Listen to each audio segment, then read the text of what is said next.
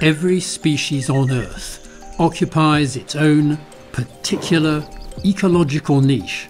That's the biological framework that defines its place in its environment.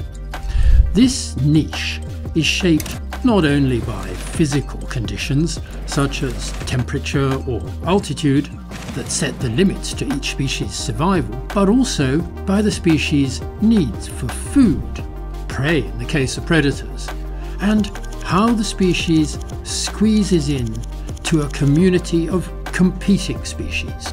The complex, resource-rich environments of tropical Southeast Asia are home to a large guild of animals cohabiting in similar niches within one ecosystem, prompting a fundamental ecological question. How do they manage to coexist? In the north of Myanmar, the Htamanthi Wildlife Reserve is home to seven out of the eight wild cat species found in Myanmar.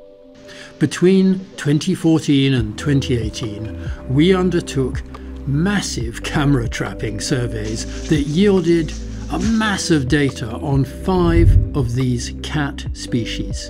In ascending order of size, they were the leopard cat, marbled cat, golden cat, clouded leopard, and top of the tree, the tiger.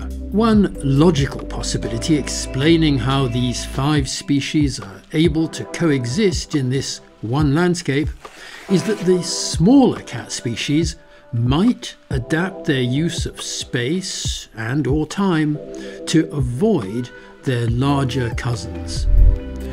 Likewise, similar sized species might partition their spatiotemporal niches to reduce their competition for resources. We delved into the data from our camera trapping study to test these ideas.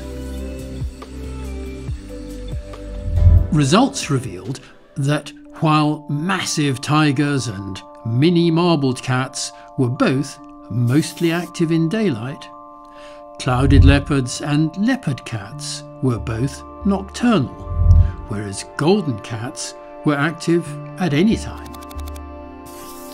Delving deeper, we found that golden cats and marble cats displayed strong niche displacement, whereas there was simply lots of overlap between the similarly sized clouded leopard and golden cats, as there was also between the very differently sized tigers and golden cats we couldn't find any evidence that the absence of larger cats influenced the populations of smaller cats. Members of the cat guild in Htamanthi appeared to partition the space they use rather more than the time when they are active.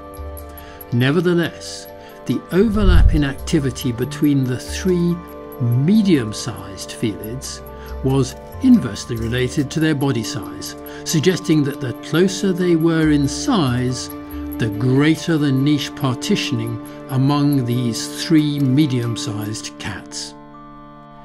The largest niche differences in the use of space and time occurred between the three smallest cat species and was most evident between the Asiatic golden cat marbled cat pairing followed by the marbled cat leopard cat pairing.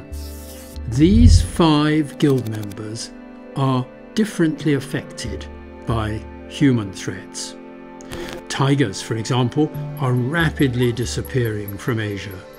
In Htamanthi, they, unlike the other felid species, were not found in the areas most frequented by poachers.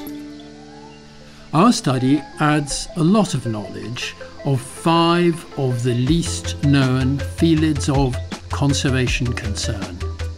It also lays a foundation to untangling the ecological rules that allow them to assemble into a cohabiting guild.